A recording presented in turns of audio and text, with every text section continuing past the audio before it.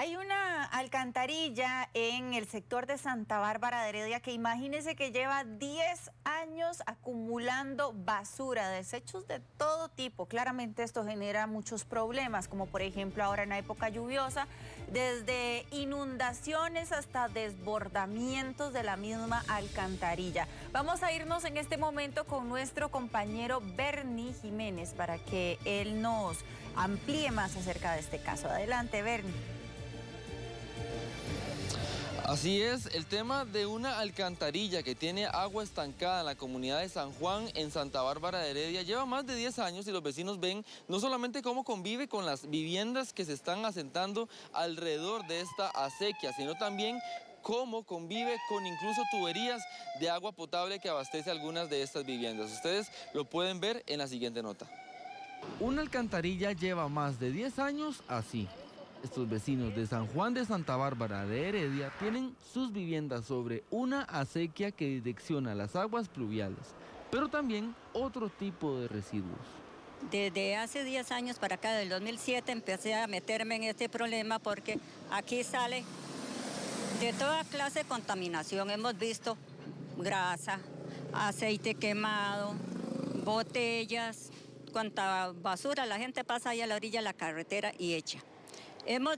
Durante la época lluviosa, este tramo de la ruta 123 se inunda y las aguas de esta alcantarilla salen hacia las viviendas de la comunidad. Tan codero que aquí puramente es donde sale el dengue. Y nadie ha hecho nada por venir a ver esto.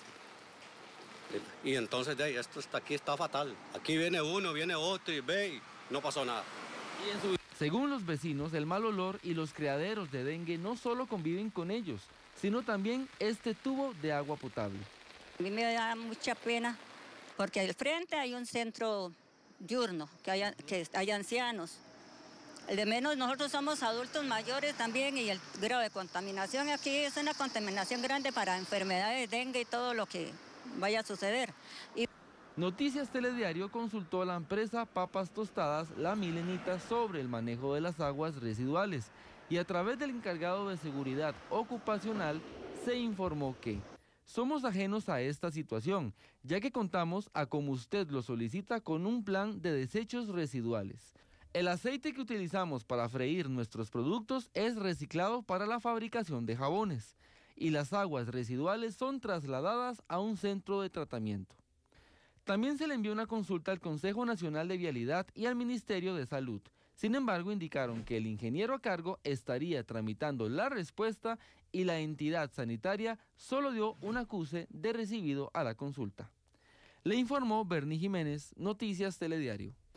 Le daremos seguimiento no solamente con las autoridades municipales, sino también con las autoridades del Ministerio de Salud que realizan inspecciones en este tipo de alcantarillas para evitar un problema mayor en el caso de eh, ser algún criadero de dengue o también alguna proliferación de alguna enfermedad que pueda poner en peligro a estas personas. Ustedes continúan con más información allá en el estudio.